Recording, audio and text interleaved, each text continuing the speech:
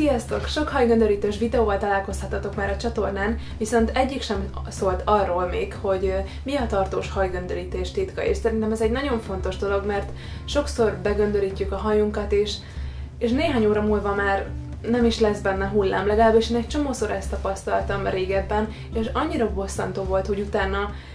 Utána azon bosszankodtam, hogy elégettem, úgymond károsítottam a hajamat azért, hogy néhány órára tartsanak csak ki a hullámok és nagyon-nagyon sok tip van, és nagyon-nagyon sok tényezőre kell odafigyelnünk ahhoz, hogy tartós, tényleg tartós hajgöndörítést érjünk el, és még ezek sem biztos, hogy öm, ahhoz vezetnek, hogy tartósan hullámos lesz a hajunk, mondjuk egy egész napot kibírnak, mert nagyon-nagyon sok dologtól függ, úgyhogy ebben a videóban ezeket szeretném veletek megosztani, és remélem hasznos lesz számotokra, hogyha kíváncsiak vagytok rá, hogy mi a tartós hajgöndörítés titka, akkor maradjatok velem. Mielőtt bármilyen tippet is megosztanék veletek, a legelső, legfontosabb dolog, hogy milyen a hajtípusunk, ugye?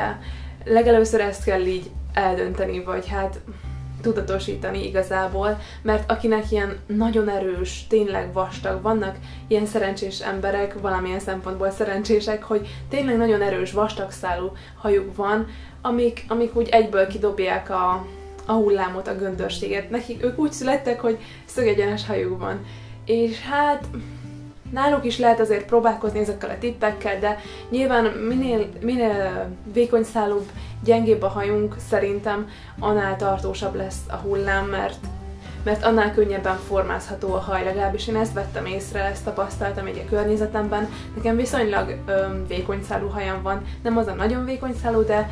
Úgyhogy nekem azért tovább tart, mint mondjuk a tesómnak, akinek tényleg nagyon-nagyon erős vastagszálú a haja. Úgyhogy először így ezt kell figyelembe venni, és ennek megfelelően kell alkalmazni igazából ezeket, vagy ennek megfelelően kell gondolni így a további tippekre. Az első tippem a tartós göndörségért, hogy ne frissen mosott hajat göndörítsünk, tehát vagy másnapos, vagy második napos, vagy harmadik napos, vagy negyedik napos, nyilván attól függ, hogy kinek meddig bírja, de a leges legfontosabb, hogy ne frissen hajmosás után göndörítsük a hajunkat, mert a, egyből, egyből ki fogja dobni a, a göndörséget, vagy hát a hullámokat a hajunk. Én tényleg ezt tapasztaltam, volt, hogy egyből haj, hajmosás után begöndörítettem, és Megcsináltam vele mindent, amit eddig szoktam, és egyszerűen semmi nem, nem működött. Kidobta a göndörséget a hajam, úgyhogy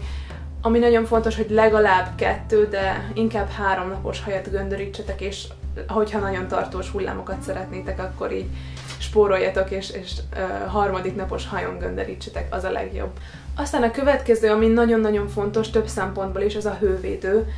a hővédő használata. Én nagyon régóta a got to Be-nek a Guardian Angel hővédőjét használom igazából. A lényeg, nem ez a lényeg. A lényeg, hogy használjunk hővédőt, nem, a, nem az a fontos, hogy miért, hanem hogy használjunk, mert nyilván védjük is a hajunkat a, a hőtől, másrészt pedig a hővédő által is sokkal tartósabbak lesznek a hullám, hullámaink. Ezt is tapasztaltam, hogy amikor hő, hővédő nélkül ö, próbáltam ki a hajgöndörítést,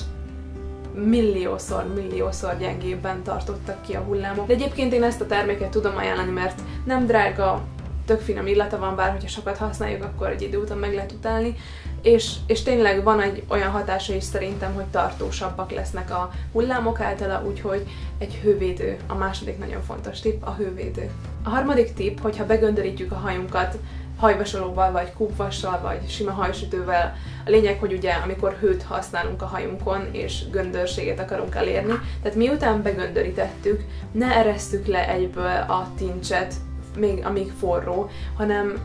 vagy várjuk meg, amíg a tenyerünkbe kihűl, de legjobb, amikor egy csipesszel rögzítjük a kis fürtöt, és, és nem engedjük le, nem engedjük kilógva kihűlni, mert ez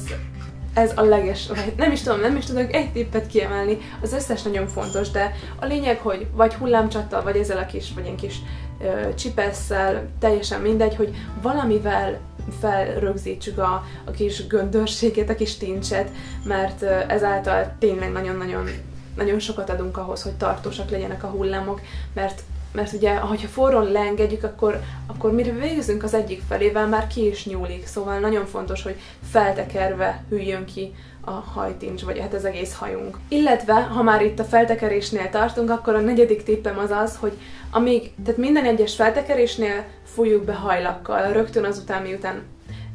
csipesszel rögzítettük, vagy hullámcsattal. Fújjunk rá egy nagyon pici hajlakot, nem kell túlzásba vinni, csak mégis, hogy egy kicsit ott is rögzítse, aztán majd később is visszatérünk még a hajlak alkalmazására, és hogyha már ennyi hajlakot használunk a hajón, az is fontos, hogy milyen típusú hajlakot használunk. Én nagyon-nagyon régóta az a az elnett hajlakját használom, mert ez a hajlak pont arról híres, hogy akármennyit fújunk a hajunkra,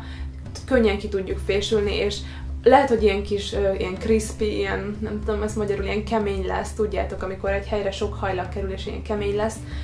nagyon könnyen, e, egy fésűhúzás, és már, már ott sincs ez a keménység, tehát nagyon fontos, hogy jó hajlakot használjunk, én eddig ezt tudom csak ajánlani, mert szinte ezt próbáltam ki egyedül, és ez nagyon jó, nagyon szuperül tart, és ez a legjobb, hogy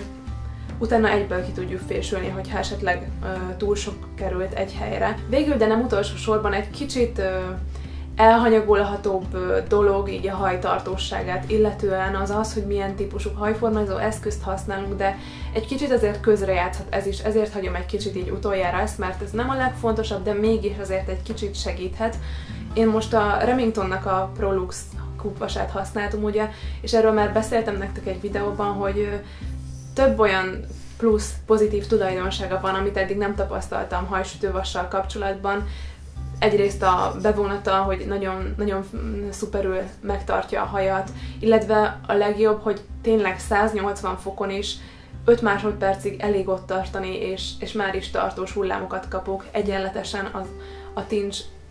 összes részén, tehát ha legyen vastagabb rész, vékonyabb, mindenhol, mindenhol egyenletesen éri a hő, ezáltal tényleg nagyon vastag hullámokat is, vagy nagyon vastag tincseket is feltekerhetek rá, és nem kell sokkal tovább ott tartanom egyáltalán. Úgyhogy ezért mondom, hogy nem a legfontosabb dolog, hogy milyen hajformázó eszközt használunk, de azért közrejátszhat, és Egyébként ez a Prolux termékcsalád most a Remingtonnak konkrétan erről szól, hogy ezek által kicsit tartósabb, egész napon át kitartó frizurát lehet elérni. De ugye több tagja is van ennek a Prolux termékcsaládnak, tehát nem csak ez a kubvas. Úgyhogy ezért ez sem elhanyagolható dolog, és én ezt, hogyha eddig nem vettetek egy nagyon jó hajsütővasat, akkor ezt mindenképpen tudom ajánlani, mert tényleg akár szoros, öm, nagyon göndör tincseket is tudtak vele készíteni, és ilyen, ilyen nagy vastag hullámokat is. Úgyhogy ez ilyen univerzális, nincs rajta az a csipesz, nem kell vele bajlódni, úgyhogy ez egy nagyon szuper hajsütővas, és még egy utolsó tippem van, ami szintén egy kicsit ilyen gyengébb már, azért hagytam a végére, az az, hogy amikor ugye közben is fújkáltunk a hajunkra hajlakot, a csipeszelés közben, de a leges legvégén is, amikor kibontottuk már egy kicsit a hullámokat, ugye azt ajánlatos egy ilyen nagyfogú fésűvel csinálni, kicsit szétráztuk az ujjunkkal a hajunkat, Na, tehát utána, amikor úgy megvan, hogy na, így szeretnénk, hogy legyen a hajunk egész nap, ugye akkor fújjunk rá hajlakot, és ezt ezt érdemes úgy csinálni, hogy miután ráfújtuk, így, így egy kicsit visszanyomjuk a, a hajunkat, és így belemasszírozzuk a terméket a hajunkba, hogy ne csak így a felületén legyen, hanem, hanem így mélyebben is bent, bent legyen a hajunkba, úgyhogy így érdemes így visszanyomkodva egy kicsit belemasszírozni a hajlakot, és ezáltal szintén egy kicsit hozzásegíthetjük ahhoz a frizuránkat, hogy tartósabb legyen. Igazából ezek lettek volna az én tipjeim, nyugodtan osztátok meg, hogyha nektek is van ilyesmi, vagy ti is felfedeztetek valamit, ami hozzásegített ahhoz, hogy tartósabb frizurátok legyen. Én ezeket tényleg saját tapasztalat alapján gyűjtöttem össze így az utóbbi időben, úgyhogy ezért nagyon szívesen megosztom veletek. Hogyha tetszett a videó, akkor ne felejtsetek el nyomni egy lájkot, illetve a további videókért mindenképpen iratkozzatok fel itt lent, és akkor mindig értesültök az új videókról. Köszönöm szépen, hogy velem tartottatok, találkozunk legközelebb is. Sziasztok!